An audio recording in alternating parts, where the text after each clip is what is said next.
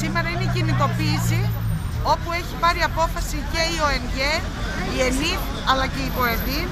Είναι η κινητοποίηση των υγειονομικών για όλα αυτά τα προβλήματα που έχουν δημιουργηθεί όχι μόνο λόγω πανδημίας αλλά εδώ και τόσα χρόνια όπου όλες οι κυβερνήσεις ουσιαστικά είναι ο εμπεγμός απέναντι στη δημόσια υγεία Μιλάμε για μόνιμες ε, προσλήψεις, μιλάμε για μονιμοποίηση όλου του προσωπικού, για ένταξή μας στα βαρέα και ανθυγινά, για χρηματοδότηση, για επίταξη του ιδιωτικού τομέα και επίταξη ε, της, ε, σε ιδιωτικά ε, κέντρα τα οποία θα μπορεί όλη η υγειονομική και όλος ο κόσμος να κάνει τεστ και βέβαια αυτό που λέμε είναι ότι θέλουμε μέσα ατομικής προστασίας.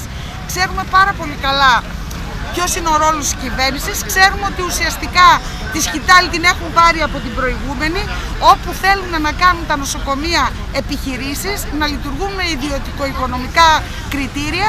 Και αυτό βέβαια βλέπουμε ότι ήδη αρχίζει και μπαίνει σε εφαρμογή, πέρα από τις δωρεές που ξεκίνησαν επί ΣΥΡΙΖΑ, αλλά και τώρα μέσω πανδημίας. Και φυσικά εδώ στη Θεσσαλονίκη βλέπουμε ότι στην τρίτη και στην τέταρτη είπε η περιφέρεια έβγαλε ένα κονδύλι όπου με αυτό θα μπορέσει ε, τάχα να χρηματοδοτήσει τα νοσοκομεία για προσλήψεις.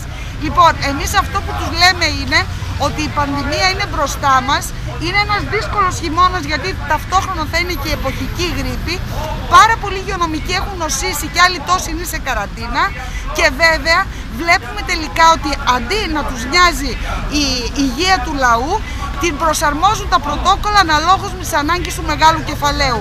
Σε αυτό βλέπουμε τι έγινε και με τον τουρισμό και μετά άρχισε η κυβέρνηση να μας κουνάει το δάχτυλο.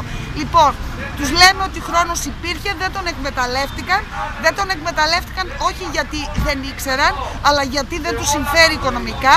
Και βέβαια αυτό που λέμε είναι ότι δεν θα αφήσουμε τις ζωές μας απροστάτευτες, ούτε τις ζωές όλου του λαού. Είναι στο χέρι μας να διεκδικήσουμε, είναι στο χέρι μας το 2020 που η επιστήμη έχει κάνει τόσα άλματα να πούμε μπροστά. Το κίνημα, το ταξικό κίνημα των υγειονομικών έχει δείξει ποια είναι η παρουσία του. Γι' αυτό καλούμε όλους αύριο 6.30 ώρα στην πλατεία της ΧΑΝ που θα είναι το μεγάλο συλλαλητήριο όλων των συνδικάτων.